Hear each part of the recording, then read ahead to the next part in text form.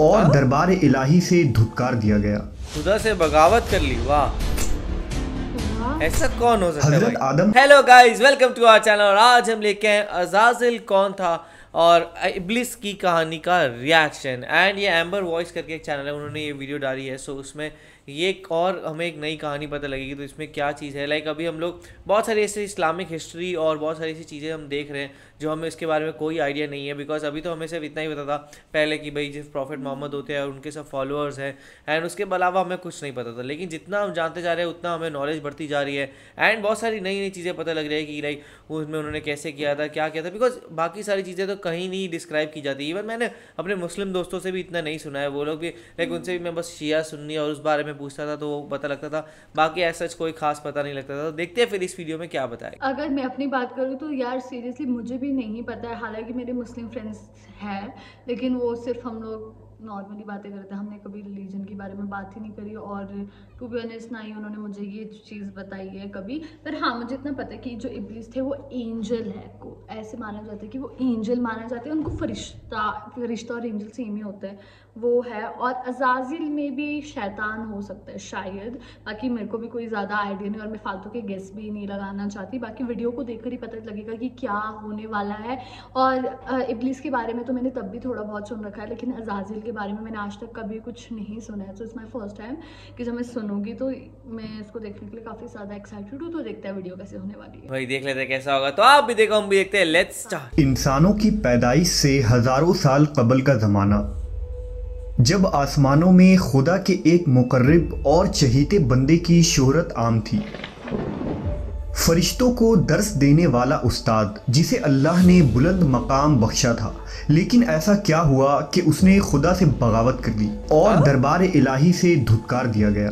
खुदा से बगावत कर ली? वाह। ऐसा कौन हो सकता है हज़रत? आदम अलैहिस्सलाम की पैदाइश से कबल आसमानों पर दो किस्म के मखलूक रहती थी। एक नूरी और दूसरी नारी। नूरी मखलूक नूर से पैदा किए गए थे जिसे मलाइका या फरिश्ता कहा जाता है। ये दिन रात इबादत इलाही में मसरूफ़ रहा करते थे और इनके यहाँ ना औरतें होती थी और ना ही उनकी नस्ल चलती थी। दूसरी मखलूक नारी यानी जिन्नात थे जो आग से पैदा किए गए हैं। उनकी औरतें भी होती थीं और उनकी नस्ल भी खूब फैलती थी। खुदा ने उन्हें अपनी हमद व सताइश करने के लिए बनाया था। ये सब अल्लाह के आसमानी लश्कर थे। वो इस मकसद के लिए बनाए गए ताकि अपने खालिक व मालिक को जाने। इससे शादमान हो। हमेशा तक उसकी खिदमत और इबादत करें। एक मुसलमान के ईमान बिलगैब का तकाजा है कि वो इन तमाम मखलूक़ात के बारे में जो कुछ कुरान और हदीस से साबित है, उस पर बिला किसी कमी व बेशी और शक के ईमान लाए। उन्हीं मखलूक में एक मुअज़्ज़िज़ हस्ती अजाजील था। अजाजील का मतलब है खुदा का अज़ीज़। उसे अल्लाह ने दहकते हुए आग के शोलों से पैदा किया था। तो फिर तो हज़रत। आदम अलैहिस्सलाम की पैदाइश से एक हज़ार साल पहले समूम जिन्नात की पैदाइश हुई ये जिन्नात का बाबा आदम था समूम जिन को ज़मीन पर भेज दिया गया जहाँ 300 साल गुजरने के बाद ज़मीन पर उसे अपनी नस्ल की जिन मुखालिफ मिली जिससे उसने शादी कर ली और वक्त गुजरने के साथ कसीर तादाद में उसकी औलादें हुई इब्तदा में तो ये कौम जिन्नात अल्लाह के फर्मा बरदार और इतात गुजार थे, लेकिन बहुत जल्द ये सरकश और नाफरमान हो गए। जब उनकी बदआमालियों की हद पार हो गई तो कसीर तादाद में जिन्नात ने मौत का जायका चखा और वो मर गए। इस दौरान जो नेक जिन्नात थे, वो बाकी बच गए और उनकी नस्ल आगे बढ़ी। तो उन्हीं उन्हीं जिन्नातों में एक मशहूर जिन्नात जिन चलीपा था। चलीपा का चेहरा बब्बर शेर जैसा था। चलीपा नहायत ही कद आवर और बहादुर जिन था। उसकी बीवी का नाम तबलीस था, जिसका चेहरा भेड़िए की मादा की तरह था। वो अपने शौहर की तरह दिलेर और ताकतवर जिन थी। उसकी तमाम कौम पर उसने अपनी धाक बैठा रखी थी और कौम का बच्चा बच्चा चलीपा का एहतराम किया करता था। उनके यहाँ एक बच्चे की पैदाइश हुई जिसका नाम अजाजील था। अजाजील में अपने माँ और बाप दोनों की खसूसियात शामिल थी यानी वो नहायत ही सरकश मक्कार बहादुर और ताकतवर था। अरे मकार बहादुर रिवायतों के मुताबिक कौमी जिन्नात को दुनिया में बसाया गया और ये हज़रत आदम की पैदाइश से पचास हज़ार साल कबल का ज़माना था। बहुत जल्द ये जिन्नात सरकश हो गए और खुदा के नाफरमान बन गए। जब झगड़े और फसाद से ज़मीन लर्जा उठी तो आसमान से फरिश्तों को हुक्म दिया गया कि जाओ और उन सरकश जिन्नात को मार फेंको। लिहाजा इस कायनात में पहली खून खूनरेज जंग हुई।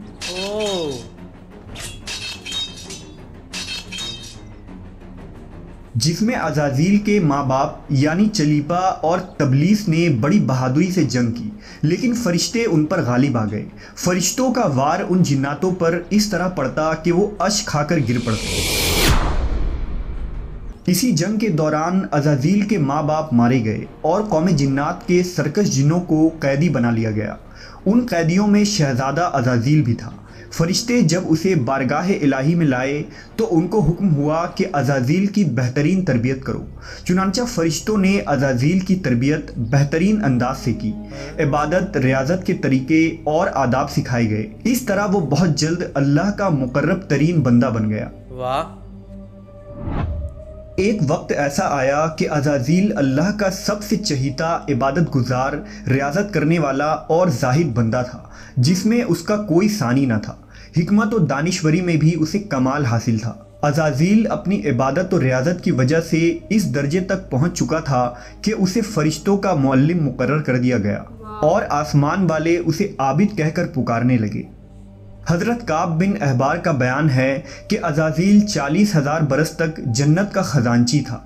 अस्सी हज़ार बरस तक फरिश्तों का साथी रहा। बीस हज़ार साल तक फरिश्तों को वाज सुनाता रहा। जिस मिंबर पर बैठकर अजाजील फरिश्तों को दर्स दिया करता था, उसी मिंबर के नीचे हज़रत जिब्राइल, मिकाइल, इसराफील और इज़राइल अलैहिस्सलाम बैठकर उसकी दर्स व तदरीस सुना करते थे। लेकिन अल्लाह को बखूबी आगाही थी कि ये असल में लईन है और एक मुन मुद्दत के बाद जलील होगा और अपने अंजाम से गाफिल इस अजाजील का खात्मा कुफ्र के हालत में होगा। लिहाजा एक रोज़ अजाजील ने लूहे महफूज को देखा कि उसमें एक इबारत तहरीर की गई है, जिसके अल्फाज थे कि मैं अल्लाह की पनाह माँगता हूँ शैतान मरदूद से। इस इबारत को पढ़ते ही अजाजील गालिबा 2000 साल तक रोता रहा और बारगाह इलाही में हाजिर होकर दरियाफ्त करने लगा कि ए रब्बुल आलमीन ये शैतान रजीम कौन होगा जिससे पनाह मांगी जाएगी? अल्लाह ने अर्ज़ किया, हमारा एक ऐसा बंदा जिसे हर नेमत से सरफराज किया जाएगा, मगर एक हुक्म ना मानने की वजह से वो मरदूद हो जाएगा। अजाजील ने ख्वाहिश की कि मैं उस मलून को देखना चाहता हूँ, जिस पर अल्लाह की जानिब से अर्ज़ किया गया कि तू जल्द उसे देखेगा। क्या वो खुद ही अजाजील हर लम्हे इस सोच में गमगीन रहता कि आखिर वो मलून कौन होगा जो खुदा का हुक्म मानने से इनकार करने की जुर्रत करेगा। इस खौफ से वो मजीद इबादत और तौबा में मसरूफ रहने लगा। यहाँ तक कि हज़ारों साल बीत गए। जब एक रोज़ अजाजील को मालूम हुआ कि अल्लाह ताला एक नई मखलूक पैदा फरमा रहे हैं जिसके लिए दुनिया के हर कोने से मिट्टी लाई गई है अल्लाह तबारक व ताला ने हज़रत आदम के पुतले को अपने दस्त कुदरत से पैदा फरमाया और ये बग़ैर रूह के 40 साल तक इसी हालत में पड़ा रहा। फरिश्ते जब उसके पास से गुजरते तो घबरा जाते। उनमें सबसे ज़्यादा घबराने वाला इबलीस था। ये उसके पास से गुजरता तो उसे मारता जिसकी वजह से उस जिस्म से ऐसी आवाज़ निकलती जैसे खनखनाती मिट्टी की ठेकरी से निकलती है। और फिर वो दिन भी आ गया जब रब्बिल आलमीन ने फरिश्तों से फरमाया कि मैं ज़मीन पर अपना एक नायब बनाने लगा हूँ। वो ज़मीन पर मेरे अहकाम को नाफिज करवाएगा। फरिश्तों ने अर्ज़ किया ए पाक परवर परवरदिगार, ये ज़मीन पर फसाद बर्पा करेंगे और ये आपस में खून रेजी करेंगे। जबकि हम तो दिन रात आपकी तस्बीह करते रहते हैं और आपकी पाकी बयान करते हैं। अल्लाह ने फरमाया, जो कुछ मैं जानता हूँ, वो तुम नहीं जानते। फिर अल्लाह ने हज़रत आदम को तमाम चीज़ों के नाम सिखा दिए और उन्हें फरिश्तों के सामने पेश करते हुए फरमाया, अगर तुम सच्चे हो तो मुझे उनके नाम बताओ। उन्होंने कहा, तू पाक है। हम तो इतना ही जानते हैं जितना तूने हमें बताया है। बेशक तू बड़े इल्म हिकमत वाला है। फिर अल्लाह ने फरमाया, ए आदम, उन चीज़ों के नाम बता दो। फिर हज़रत आदम ने उन्हें नाम बता दिए। तो फरमाया क्या मैंने तुम्हें नहीं कहा था कि मैं आसमानों और ज़मीन की छुपी हुई चीज़ें जानता हूँ और जो तुम ज़ाहिर करते हो और जो तुम छुपाते हो?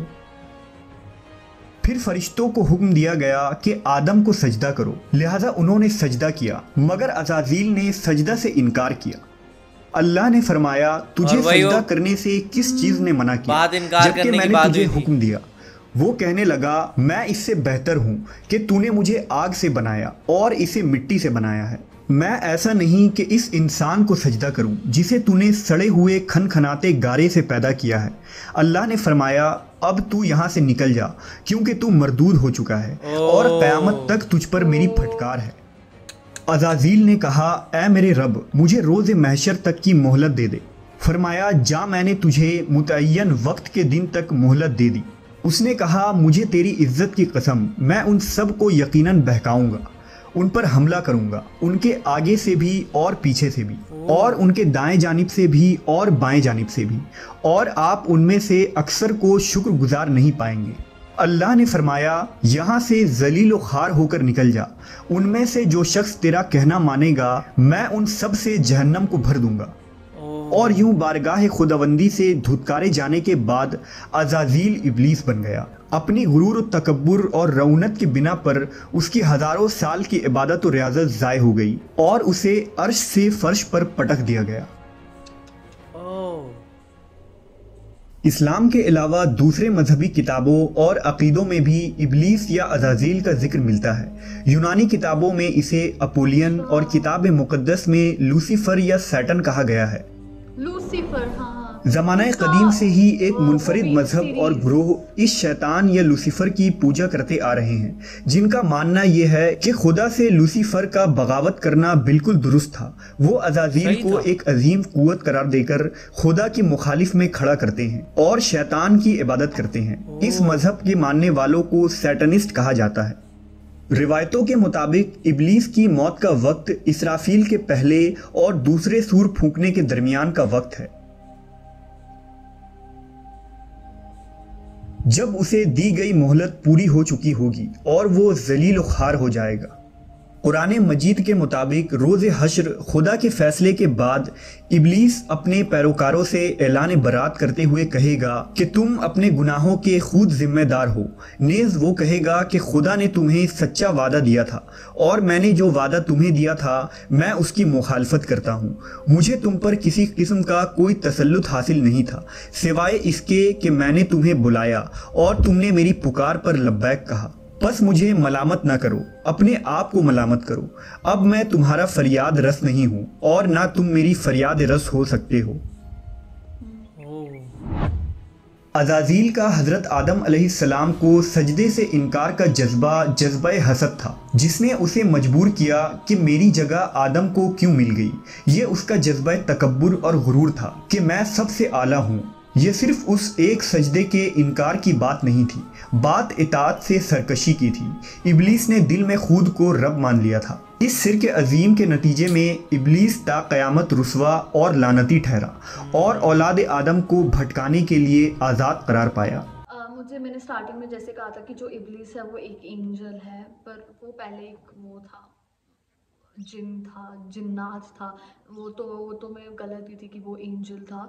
लेकिन बाद में हम लोगों को पता लगा कि सिर्फ़ उन्होंने मतलब सिर्फ़ एक अल्लाह को मतलब आदम के सामने सलाम करने की वजह से नहीं हुआ है ये सब कुछ, बल्कि उसका ईगो आ गया था बीच में और और फिर उसके बाद उसने मतलब अल्लाह को चैलेंज भी किया और उसने दिल में ये भी मान लिया था कि वही भगवान है, वही सब कुछ है।